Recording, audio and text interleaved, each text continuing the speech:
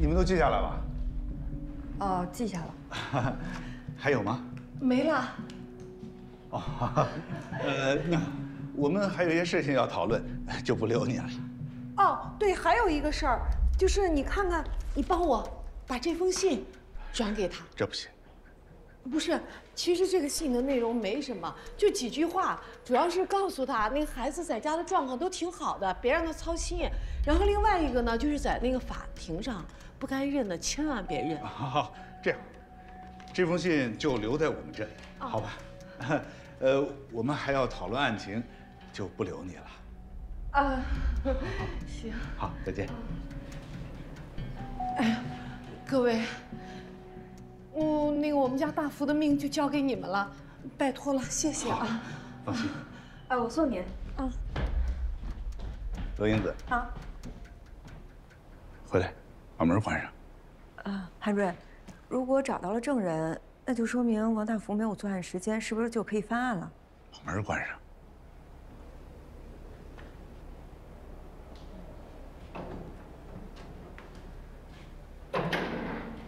来坐。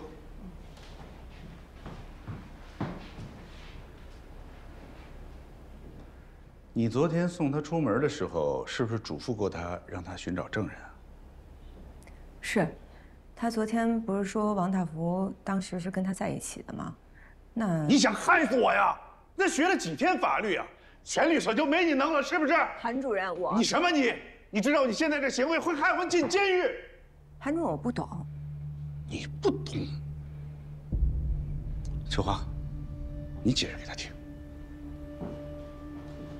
证人证言其实是很不可靠的东西。孙小娥一心救夫，又知道有另外证人的重要性，他肯定会找同村人帮他做伪证的。乡里乡亲抹不开情面，就答应帮他作证。但这种证言是经不起法庭之证的。等这些出证言的人见到警察。知道做伪证是要负法律责任的，那很有可能就会改变证言。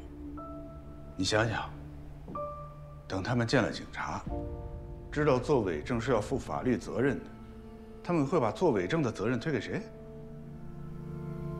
知道刑法有个第三百零六条吗？知道。嗯，在刑事诉讼中，辩护人、诉讼代理人毁灭、伪造证据，帮助当事人毁灭、伪造证据。威胁、引诱证人违背事实、改变证言或者作伪证的，处三年以下有期徒刑或者拘役；情节严重的，处三年以上七年以下有期徒刑。条儿背的挺熟啊。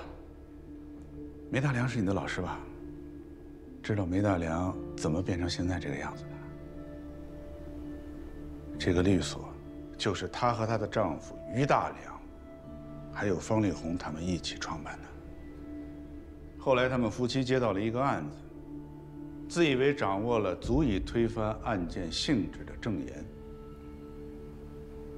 结果到了法庭上，证人一口咬定是他唆使他们做的伪证，他的当事人也在法庭上说是他教唆他们改变的有罪供述，他们被诉。触犯了刑法第三百零六条。于大良到了法庭上，由于脑淤血当场倒下了。梅大良也被吊销了律师资格。梅大良原来叫梅琴，是为了纪念她的丈夫才改叫现在这个名字的。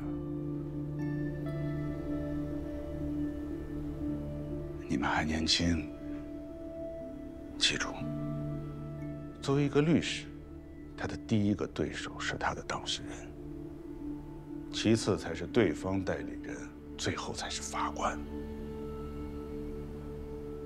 记住了？记住了，师傅。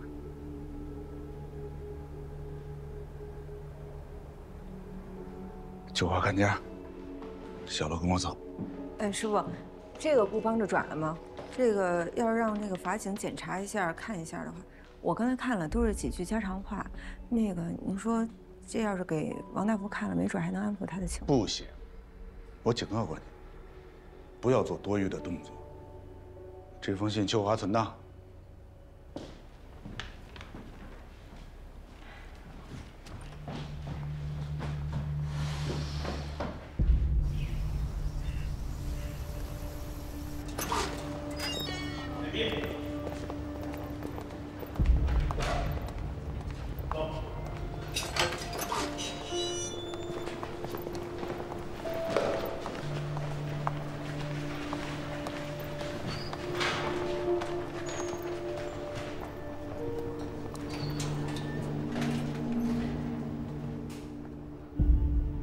王大福，我们是法律援助中心指派给你的律师，我叫韩志通，他叫罗英子。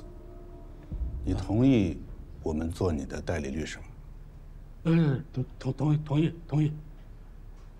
律师同志，这人真不是我杀的。把代理书让他签字。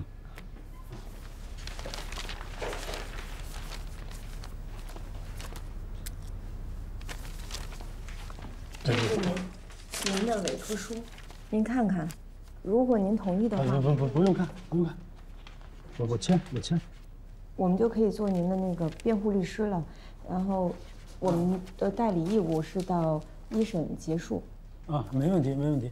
不是律师同志，这人真不不不不是我杀的，这真跟我没没关系。你记录。就我我我我承认啊，就是我跟那个钱爱莲这关系，嗯嗯有有有有点不不不正当，但是他是老逼着我离婚，我就不理他。就头天晚上吧，就是我老婆也是因为这事儿就跟我吵了一架，就就回娘家了。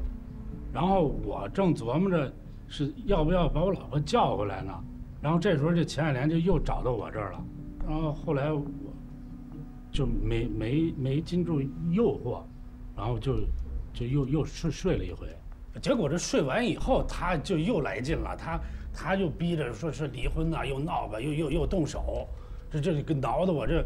脸上、身上好几个刀子，后来我也就给了他几个大嘴巴，然后这时候正好那个就我老婆打工的饭店就给我来电话，说我老婆这一天没上班，如果再不上班就开除了，这我就吓一跳，我就赶紧就说要出门去找找我老婆去，然后我是一点钟出的门，然后回来的时候七点钟，就等我回来的时候他就已经死死了。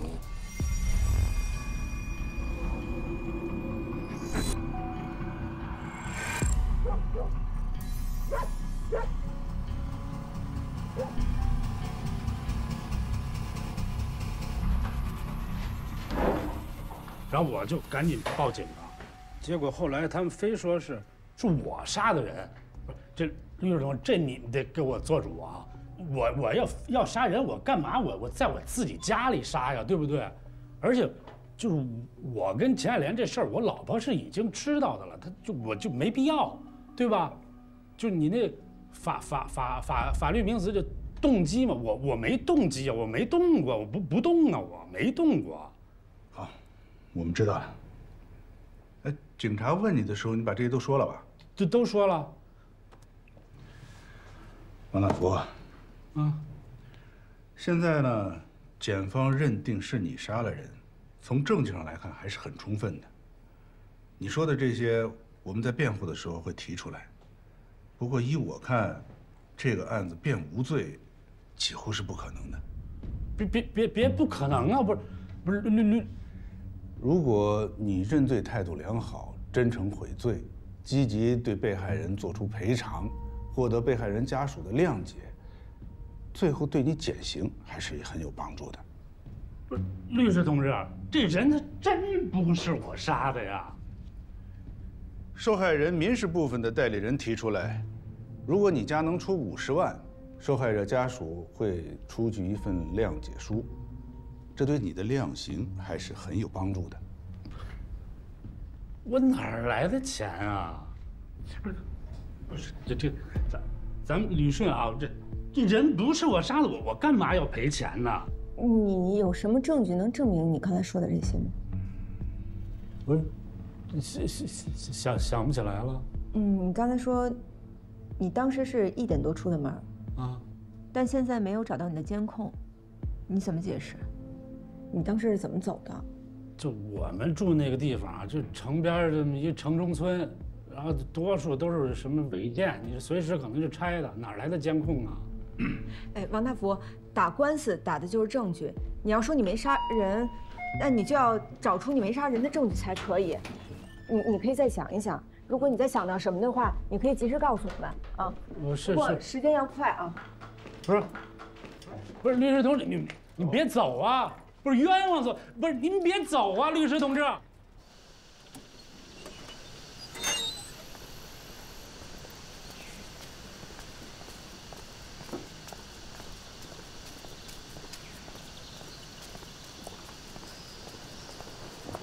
文英子，你什么意思？来的时候跟你说的话都白说了。韩主任，您听我说，说什么说？你知道你这么做很危险。他现在在被关押的状态中，那你说谎对他有什么好处呢？韩主任，你这个案子我是仔细研究过的，乍一看似乎是形成了证据链条，但是再仔细想一想，再听王大福一说，我觉得这个案子不是一点问题都没有。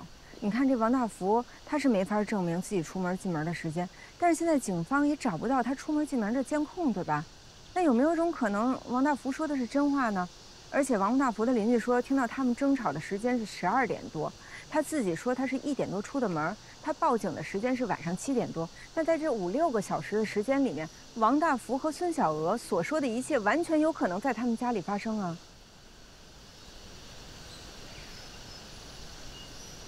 上车。我说的都对呀，没错。开门。哦，对对，对不起，不好意思。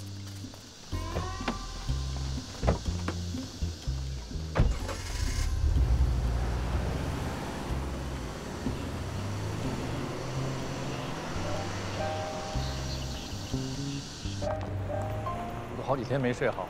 我跟你说，现在这当事人一个比一个精，想从他们身上赚钱，这个难呐！哎呀，嗯，我的目标出现了啊！先这样，拜拜。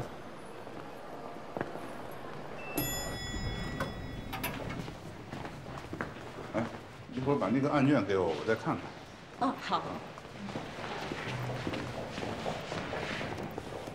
小孙，你好，陈律师。你好，你好，我找韩律师。呃，您跟他约了吗？要不您先给他打个电话。好的，好的，打个电话。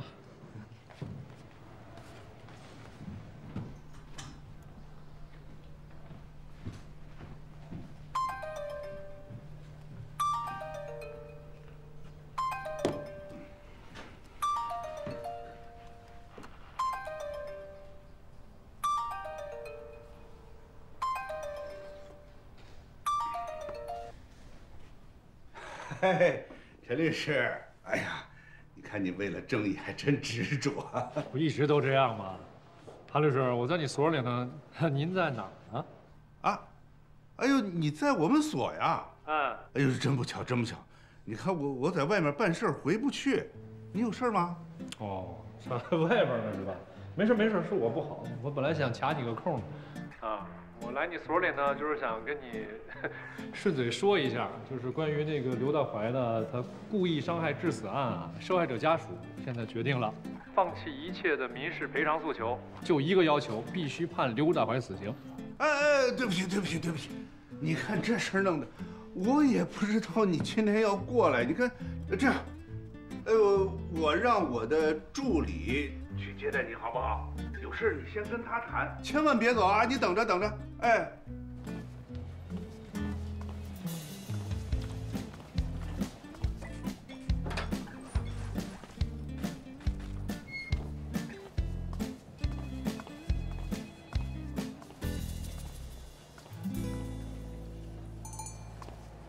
主任，你要的材料。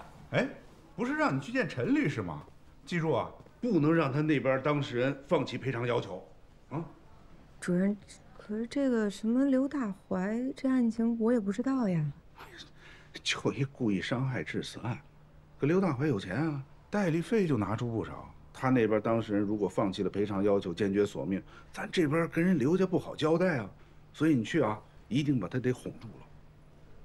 哄住？主任，我是怎么哄啊？嗯，好哄，对，他还代理王大福这个案子。啊？这个人啊，无利不起早。王大福这个案子是所里派给他的，他肯定也就顺手一办，他关心的肯定是刘大怀这个案子，所以你一定得哄住他啊，明白吗？赶快去，赶快去。哦，哎，主任，这这这个给你。哦，好，好，好，赶快去。哦。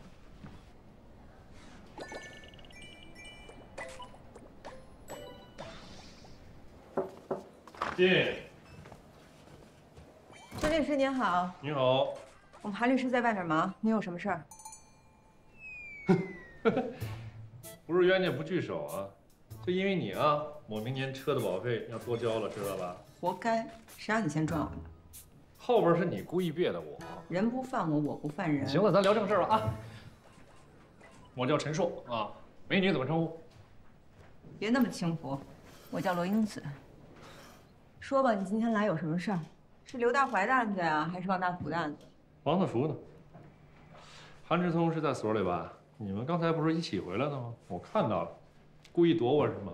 那没办法，我就得拿刘大怀的案子调他。你是受害人的民事代理人，那你觉得这案子有疑点吗？我哪知道有没有疑点啊？刑事部分不是有公诉人的吗？我这趟来就是想问你们能不能多赔点钱。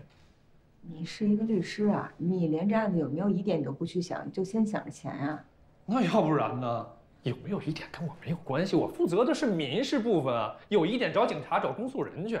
哎，我上次找老韩啊，我开的是五十万，他不同意。今天我做主了，美女，四十万，四十万你能做主不？不是什么叫跟你没关系啊？那如果这个人不是我当事人杀的，我当事人为什么要赔你呢？那怎么着？你是觉得有疑点就要干警察的事儿，你去查案啊？我还真觉得这案子是存在合理的怀疑的。哎，你刚入行是不是？怎么了？我刚拿到实习律师证啊，第一个案子有问题吗？看出来了，嗯，没问题。你说的这，你说什么呢？帮我尊重点啊！美女，你叫我罗英子。好的，罗实习律师啊，我肯定是比你大几岁，所以呢，我给你一个忠告：刑事案子咱们得谨慎一点，合理怀疑这种话不要轻易的说出来。这样呢，我看了，嗯，尤其是卷宗，我读得很仔细，基本事实清楚，基本证据确凿，所以没有什么问题。作为双方的律师，我们能做的就是你督促他们多赔点钱，我呢就让受害者家属赶快出谅解书，保王大福一条命，这案子就结了啊！律师的职责就算做到了。什么叫基本啊？基本事实清楚，基本证据确凿，基本上可以判死刑。你对人命对案子就这么儿戏啊？不是，那那还要怎么样呢？对，就这样。哎呦，那你什么态度啊？什么意思呢？你要去翻吗？那如果人不是我当事人杀的，为什么不能翻？美女，不可能。可不可能？试试才知道。法人啊，千八百块，你图什么？图什么？你这种人当然不能理解了。你挺有趣儿，你是法律人，咱们谈法律的时候，你在这跟我谈良知，你挺可爱的。行吧，那我就看着，你这良知值多少钱？你这良知能给你留下什么事儿啊？你这律所吧，真的，你师傅韩志聪这样，你也这德行。你什么德行？臭脾气！气死我了，没吵好。走着瞧。刚应该骂他一句就好。气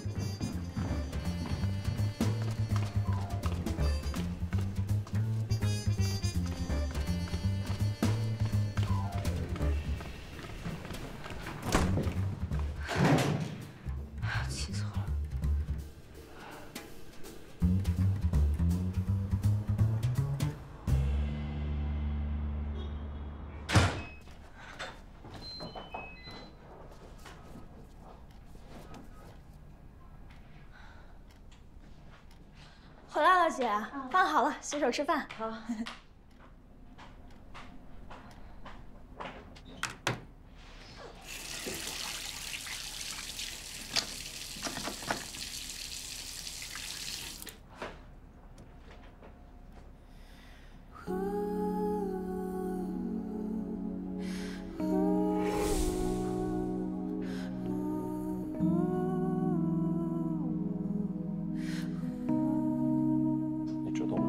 ハハハハ!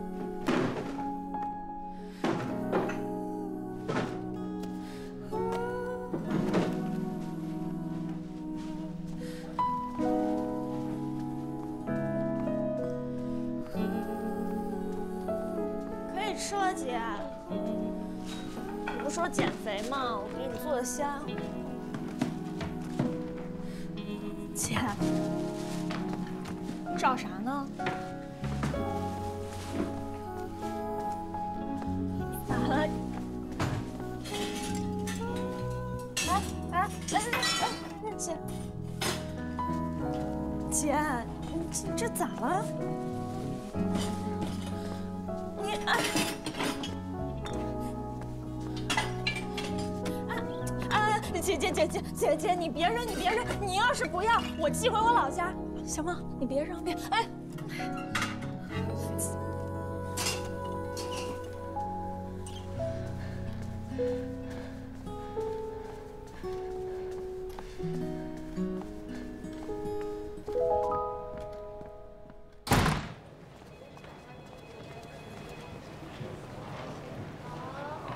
早早早早。早！哎，对，玲子，老韩说让你来了以后上他办公室一趟。哦，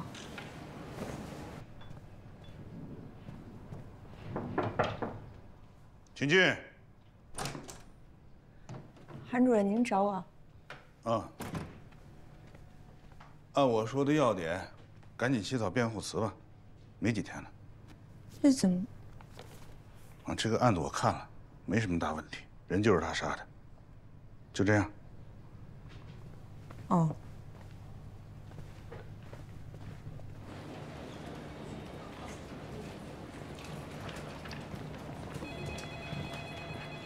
还为那法院案呢。行了，尽到责任就行了。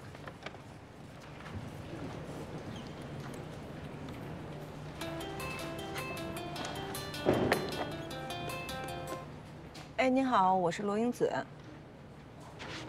啊？哦，好，好，知道了，我马上汇报啊，谢谢。韩主任，看守所来电话，王大福需要会见。是看守所主动来电话。是啊，昨天咱们去的时候登记我的电话。秋华，秋华，你进来一下。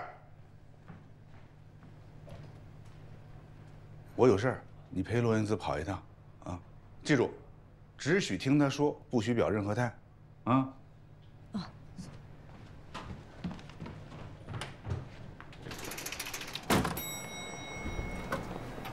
抱歉啊，还麻烦你跑一趟。啊，没事。不过咱俩去了也是白去。啊？为什么呀？实习律师是不能单独会见当事人的，咱们去了看守所肯定也不让进。那韩韩主任为什么让咱们去啊？他怕麻烦呗。不过开庭之前就会见这一次了，咱俩去碰个钉子就回来了。你等着，不是，呃，对，师姐，你等会儿。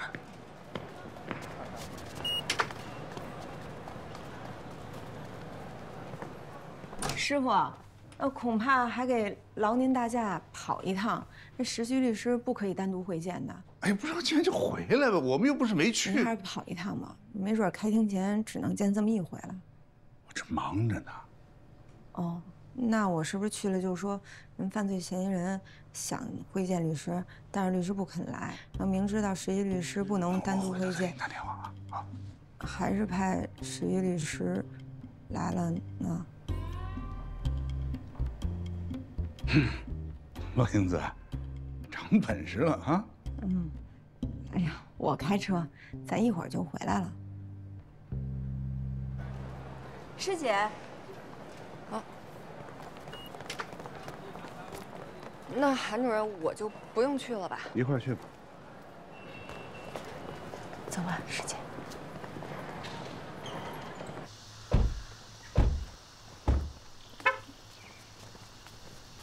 嗯，你在这儿等着。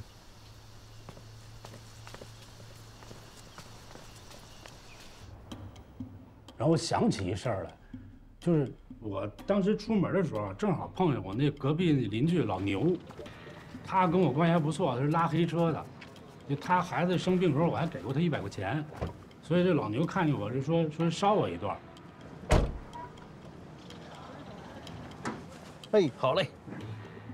哟，王哥，你这脸是怎么了？没急了，嗯，走了走了。哦嘞，冯哥您就好安全带。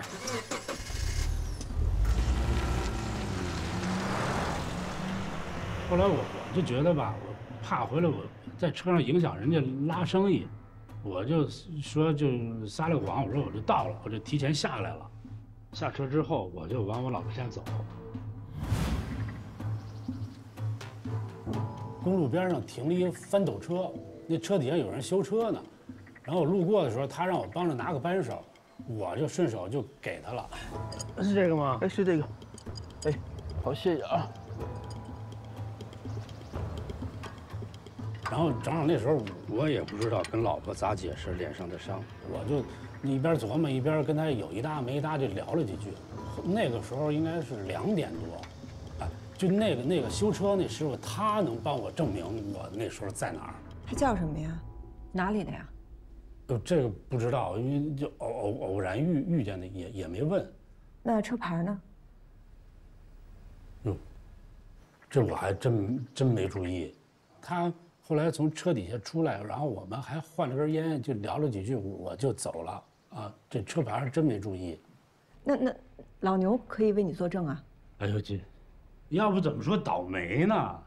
我回家的时候啊，就看到老牛家门口围了一堆人，我就上去就问，就结果才知道这老牛他不是拉黑车吗？正好下午碰着查黑车的了，他开车就跑，这一不留神吧，就就连人带车就从桥桥上就就翻到那河沟里去了，就就人就给淹死了。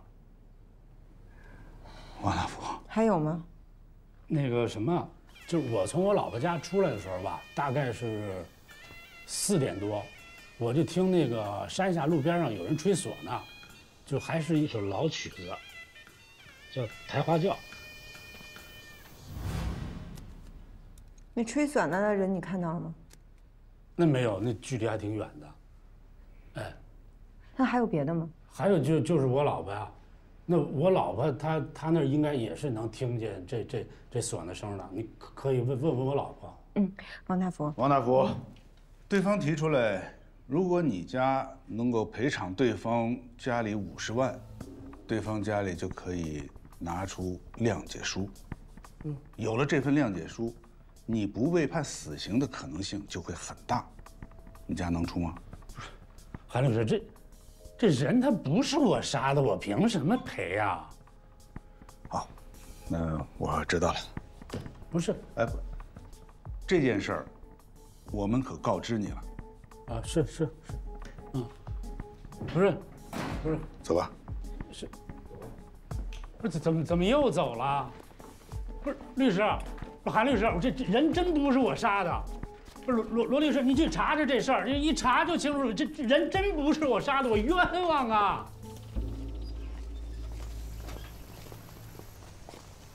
呃，那个，我要出去见个客户，你们俩自己回去吧。啊，师傅，那个，我还是想跟您聊一下，您看咱们有没有可能去问问王大福老婆，她当时有没有听见这个唢呐声？我说话你怎么就不听呢？啊？我，秋华，你告诉他。别问，一问肯定听见了。啊，那怎么办呀？没办法，这个案子本来就没什么可辩的。当然，你可以把疑点提出来，法庭也不会采纳。还是那句老话，这个案子他能得一个不被立即执行，就已经算捡便宜了，你知道不知道？嗯。行，你们回去吧。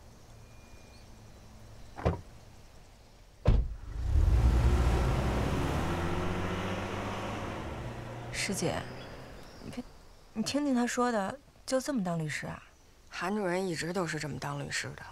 可是咱们是不是也得为当事人的利益负责啊？他今天能陪你跑这一趟，已经很负责任了。走吧。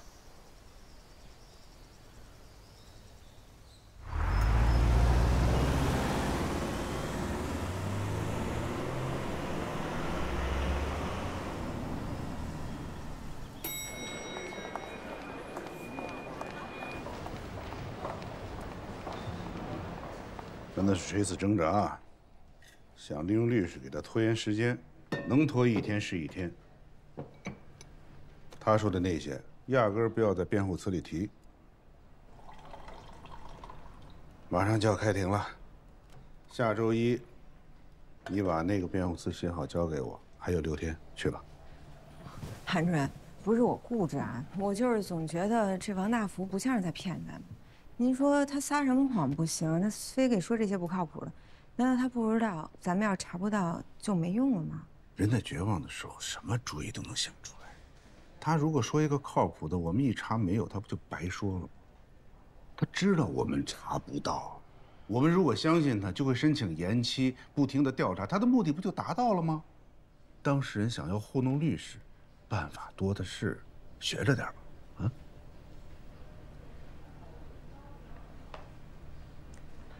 韩主任，那个您刚刚也说还有一周，要不然就拿这一周的时间再让我去查查呗。你还真固执啊！哎，我就是心里总是不踏实，我觉得他不像是在骗咱们。行行，想查就查去吧。哎，不不不，一周不行啊，只有六天。哎，对不，你还得给我剩下一天时间修改你写的辩护词，所以你只有五天，明白吗？嗯嗯。啊，谢谢你。还要查？啊，呃，查查。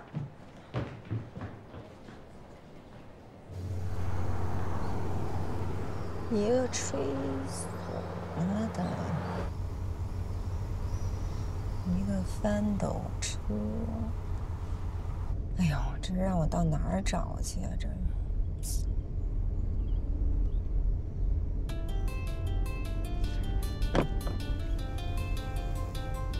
喂，你好。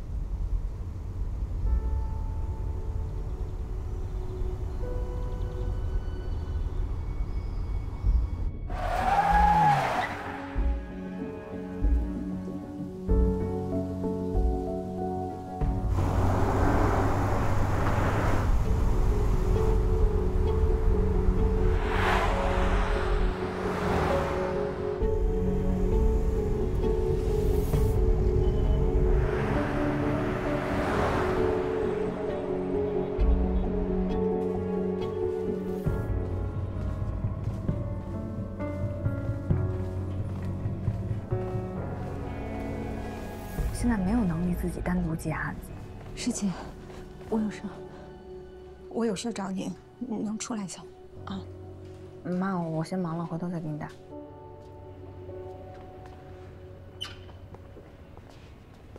怎么了？什么事儿啊？师姐，我遇到事儿了。怎么了？我也不知道该找谁，我就想到你了，你能帮我吗？你说，简单的说就是，我丈夫带着一个我认识的女人，一起偷偷的跑了。他们俩一起去跑到美国去了。你不是跟我们说你离婚了吗？对，我是已经向法院起诉离婚了。可刚才我刚知道，他在外面借了债。啊？债主已经打电话来催了。债主是谁啊？是一个。快捷贷是私人贷，他们跟我说他之前在那儿借了几十万，然后一直还着利息，后来他跑了，就再也没还了。没过些日子就已经滚到八十万了。高法对婚姻法第二十四条有个解释，你知道吗？债权人就夫妻关系存续期间，夫妻一方以个人名义所负债务，主张权利的按夫妻共同债务处理。但夫妻一方能够证明债权人与债务人明确约定为个人债务，或者能够证明属于婚姻法第十九条第三款规定情形的除外。也就是说，夫妻对婚姻关系存续期间所得的财产约定归各自所有的，夫或妻一方对外所负的债务，第三人知道该约定的，以夫或妻一方所有的财产清偿。你们之间肯定没有这样的约定。就算有，对方也肯定说不知道有这个约定，对吧？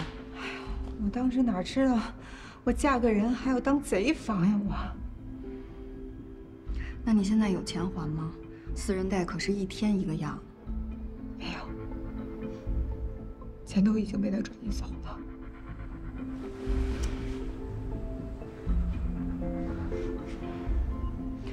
那你现在需要我帮你做什么呀？师姐。我现在眼下最着急的就是我要去解决这些债务的事儿，但是王大福的那个案子，我不想丢，可是我确实是顾不上，因为韩主任他说他只给我五天时间。师姐，你能帮我跑一下吗？刚到这律所来，我跟谁也都不熟，就你还对这案子有了解。如果你愿意帮我跑，我就去跟韩主任说，我说这个案子是咱们俩一起做的。你自己的事儿都火烧眉毛了，你还惦记王大福的案子呢？五天如果找不到王大福说的那个唢呐和翻斗车，那我也就死心了。师姐，行吗？行，但是我有一个条件。你说，你已经向法院起诉离婚了，对吧？对。请律师了吗？哎呀，不管以后你请谁做代理，带我一个，行吗？但，师姐，我必须要实话实讲。我身上没钱了，我需要的是案子。行，成交。王大福说的那两件事，到时候我去跑。嗯，我觉得你还是得把心思都放在你自己的事儿上，毕竟现在的司法解释对你很不利。我觉得你还是得做好思想准备。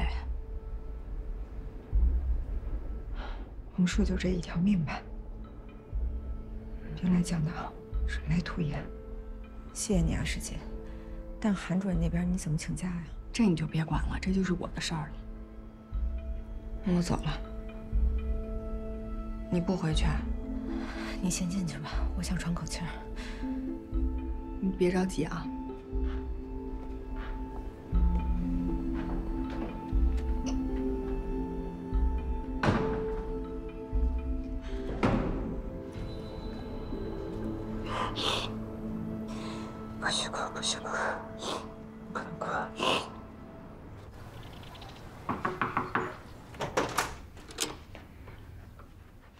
是不是在外面借私人贷了？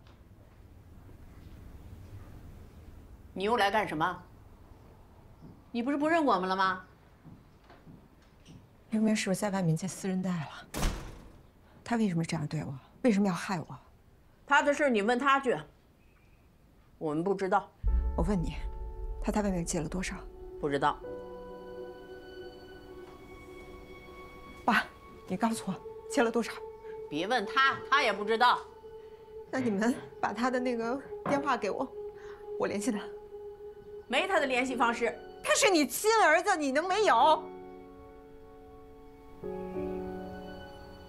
如果你们不说，我只能把你们的联系方式给讨债的了。反正刘明在外面借的钱，我是没有见过，他一分没往家里拿，我还不着。哦，刘明就算是借钱，还不是为了你？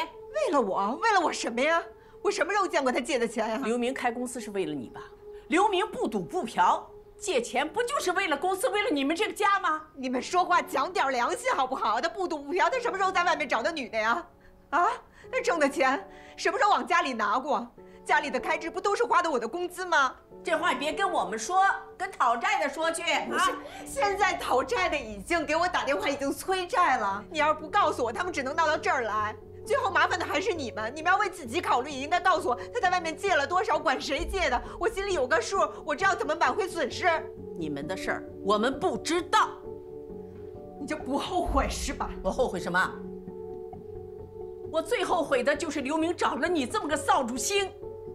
要不是为了你，他也不会抛家舍业的跑到国外去。有本事，你就到国外找他去，找他去。记住你今天说的话。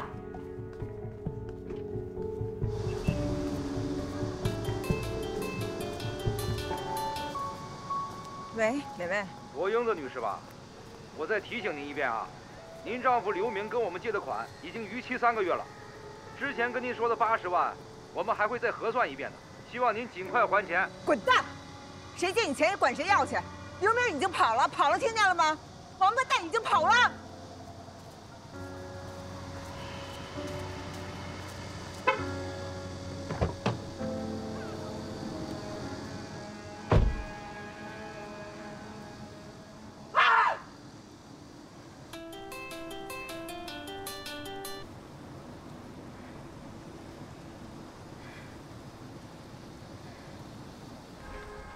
爷，我跟您打听个事儿，您是前面这村子的吧？是是啊，您知不知道去年七月份有没有人家里办喜事啊？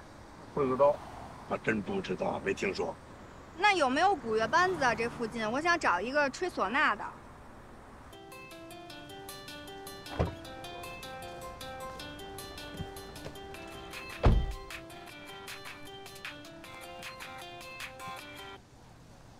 喂，师姐，找什么线索了吗？喂，罗云子，没有呢，我正在找。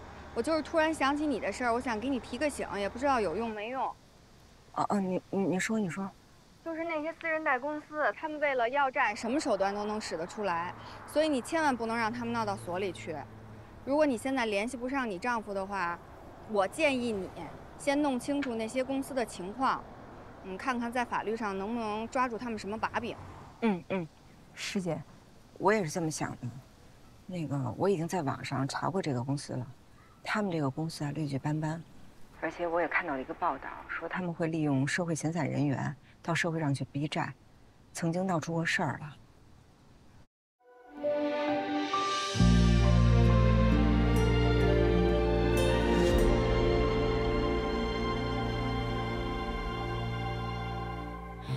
记忆里许多事情有过去，过去，我们多有默契。失去的所有人里，最怀念自己，不痛不惧。用沉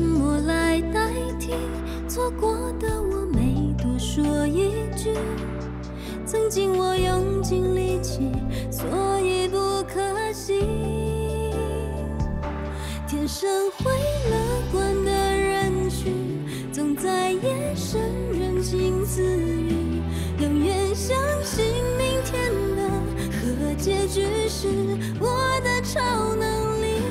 为一个解翻山越岭，走很远才惊觉